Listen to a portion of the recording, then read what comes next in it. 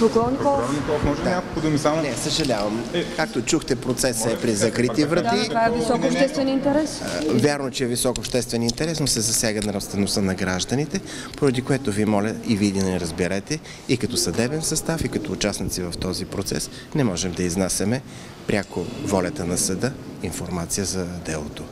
За утре се отложи. За утре се отложи делото. А обвинението? Обвинението е по член 149 и 151, това, което сте видяли в, на сайта на съда.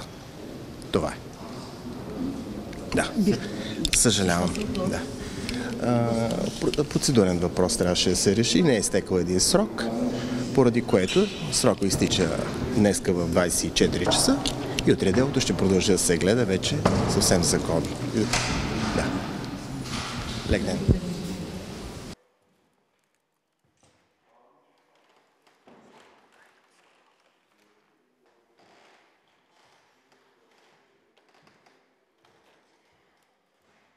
Аз и колегата Мишоров сме защитници на подсъдимия, както стана ясно. Делото е за престъпления, които са свързани с половата неприкосновеност, съдържа данни за личния и интимния живот на страните и по тая причина не бих могъл да коментирам нищо конкретно. Но все пак то влезе в съдебна зала, което Така е, така е, но съдията прецени да го гледа при закрити врати.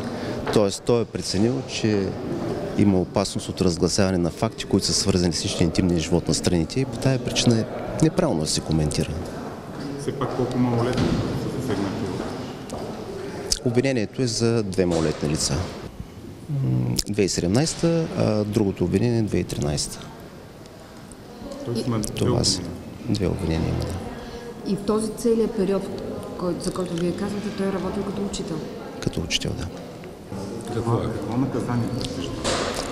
А, едното от обвиненията е, е за престъпление, което предвижда изключително сериозно наказание е от 5 до 15 години лишаване от свобода. Моля?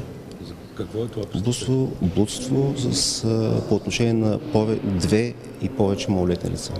Това е. И заради наличието на повече от едно малолетно лице, съответно квалификацията е по-тежка. А това от 2013 Там е по отношение на едно лице. Отново също. Но той е завършил отдавна. Не. Не става въпрос за отношения, които според мен могат да бъдат квалифицирани като типично блудство.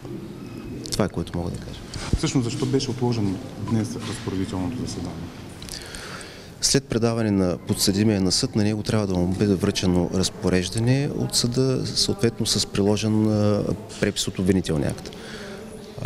Това се прави с оглед упражняване на правото му на отговор по този обвинителен акт и това право той има право да упражни в рамките на 7-дневен срок, който към днешна дата не беше изтекал и по тази причина съответно не беше дарен ход на делото. При направено възражение от негова страна.